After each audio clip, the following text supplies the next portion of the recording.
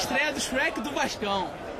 Fala aí, Shrek, beleza? Tudo bom, tudo bom, tá tudo ótimo. Tá Mas como o. Shrek não, não consegue falar, aqui tá presente o tradutor do Shrek. Qual é o seu nome, amigo? Bruno, Bruno. Bruno. Shrek, qual é a emoção de estrear com a camisa do Vascão? Emoção muito grande.